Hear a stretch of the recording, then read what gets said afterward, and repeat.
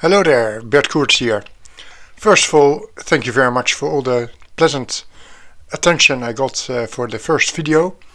I got a lot of questions, I made some friends. Uh, I got, got advice for problems I didn't know that exist. So that was a wonderful experience. Today is the first uh, tutorial and I would like to start with the simple logic gate. If you are searching on the internet you'll find many many suggestions for logic gates. Um, I think it's important that you try them in practice and what I mean by that is um, make a NAND gate with 5 inputs or make 10 NOT gates in series and see if they propagate well. Make a NAND gate which uh, lights up three LEDs in parallel. That way you know that your uh, end result will work. I did a lot of experiments and I uh, finally agreed to the N sorry 2N3904 transistor with uh, 270 ohm transistor and for the signal uh, 2.2 kilo ohm transistor. Uh, these might be a bit uh, light resistors which uh, will use in a lot of uh, power consumption but I can propagate it endlessly and I never had any problems so I stick to that personally. Then it's about building logic gates from transistors. Here you see uh, my uh, what is it, three NAND gates, three input NAND gate, two input NAND gate and a NOR gate. I use only gates that start with an N. So an OR gate is a NOR gate with NOT and a buffer for example is uh, two NOT gates. Here I have the NOT gate in detail.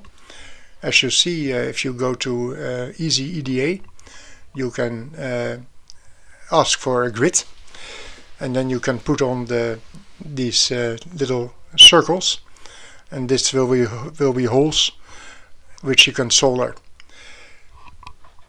I make my gates in Easy EDA. There's a screen there that tells you how to make a PCB and I just enter holes in this pattern for a NOT gate. As you can see uh, I already uh, connected the two dots between the T and the two dots between the right R. This uh, saves you a lot of uh, soldering later. Same here for the two input NAND gate and the three input NAND gate. And the last one I give an example of is the NOR gate. This is a bit more complicated in uh, connecting all the dots. And I see that on the left I forgot to connect the first two transistor dots. I will change that. Each board needs to be connected with the rest of the CPU. So at the bottom of the board I made a series of uh, holes so you can uh, put in a connector and uh, connect it to the rest of the computer. Here you see an example of how I did it. I have plus and minus for the board, then the three channels 0, 1, 2 and 3, the select button, the outs button and the output 0, 1, 2 and 3. Okay, now you can imagine how to build a logic gate, but we are going to build a register. So I looked it up in uh, sort of a Bible, a book called uh, But How Do It Know from Scott and he came up with the following minimal circuits you need to uh, register data. Uh, I do advise you to read the book, it's, it's just fun. It's simple but fun. If you copy all the right um, logic gates in the right order and connect them the right way, you should get a picture like this. In the latter part of the um, video I will leave a link where you could download this but I highly recommend that you do this uh, yourself. Then you have to um, have to make a Gerber file on EDA which is also included in the GitHub that I made. Perhaps a small uh, side, side path I would like to take.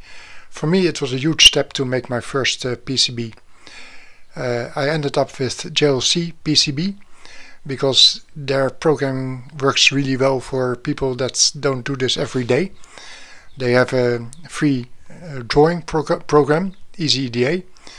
Uh, I used the standard edition and uh, it leads you through a process which in the end generates a Gerber file which has all the, all the data they need to make your product.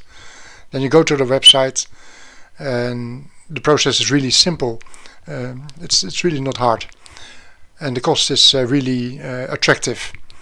I believe that uh, for the first five boards I ordered, I was uh, uh, five euros poorer, and that included shipping.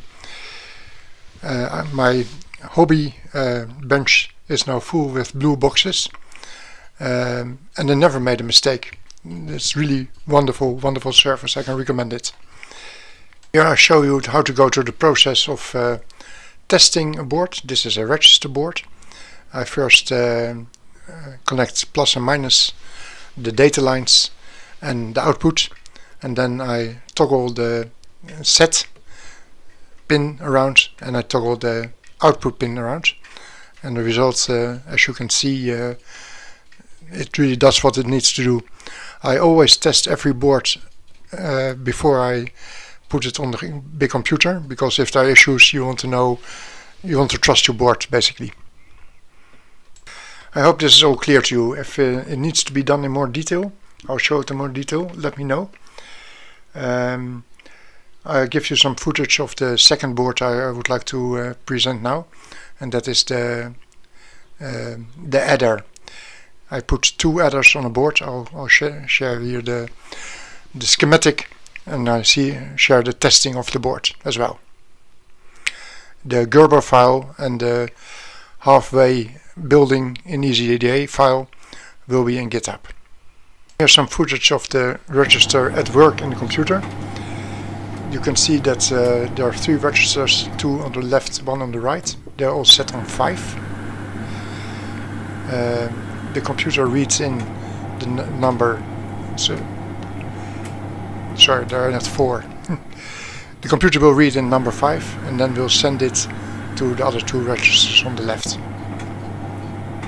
you can see it uh, takes exactly one uh, clock cycle in the, one of the next videos I'll explain exactly how the electronic control works but that the boards work is for sure I will conclude with the GitHub uh, here in view um, if you have any trouble with it, let me know.